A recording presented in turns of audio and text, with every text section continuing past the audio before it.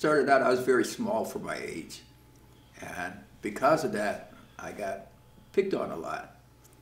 You know, because just because I was small. Uh, one story, one case in point is we moved into this new neighborhood and this kid came over to, a whole bunch of guys came over to where me and my brother were. And so the tallest kid in the crowd looked at me, he said, hey boy, what's your name? And I said, Sam. Looked up at him, he's looking down at me, he says, how old are you?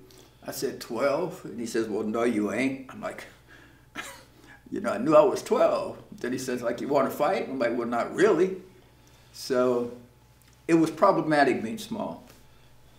Then I watched one of the early masters, Master Jerry Durant at the time.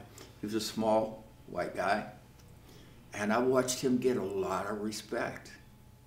I said, wouldn't that be nice? You know, I see a little man getting respect. Um, that made me approach him to see if he would teach me. He took me and introduced me to my teacher, Master Art Sykes.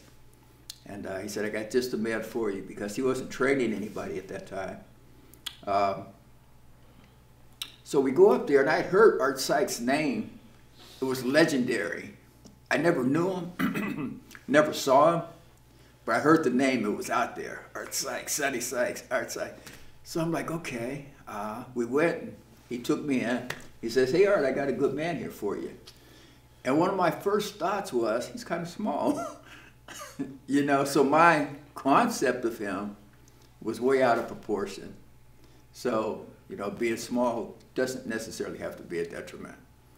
And so I joined this class and been involved ever since. Knowing from my teacher and also reading the history that wherever I was at, there was more. So I couldn't accept myself where I was at, you know? So that kind of kept me striving for more. Other than that, I would like stagnate and just say, well, here I am, uh, I'm done, and, and, not go any further. But uh, there was always a reason to go further. Carlos Castaneda. I read that book many years ago, sure. and this was my first encounter with this information. Right. Because in that book, he said man has four natural enemies. Well, nobody ever told me that. I never heard that before. The first of which is fear. That, that added up. the second one was clarity, because you could tend to learn to see things clearly and then think nobody can tell you anything anymore. The third natural enemy was power. Because what a man does with power, if and when he has it, says a lot about his character and his nature. And the last natural enemy is old age. Uh, we're all headed that way. but I, I, thought it was interesting to have those categories, you know, and, and how they alluded to one's journey through life, perhaps. And your biggest test and your biggest enemy is yourself. Because when you go out there and you're in that ring and you're standing face to face with a man that you ain't ever seen before, and you're getting ready to throw punches and kicks at each other, the body and the mind and the emotions go through all kind of chaos and turmoil. And you have to conquer all of that, you know, and then try to have to conquer him. so they're built in. I've been here all my life and I've seen Erie go from bustling and industrious down to almost like a ghost town, and it seems to still be going that in that direction. Um, hopefully there'll be a turnaround.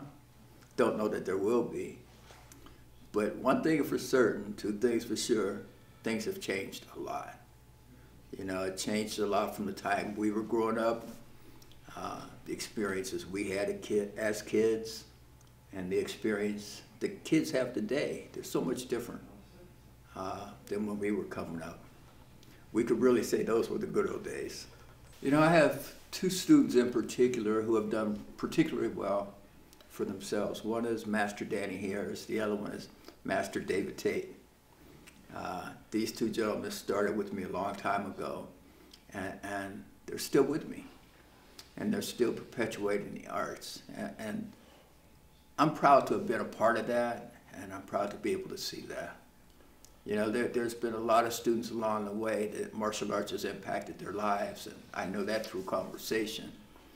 But uh, as far as the two best and excelling, that would be Master Danny Harris and Master David Tate. Well, I think if, if, if people got involved, not necessarily in my art form, and, and something that when you go in, you have no idea what it's really all about. You have a pretty narrow concept of, well, this is this and that is that.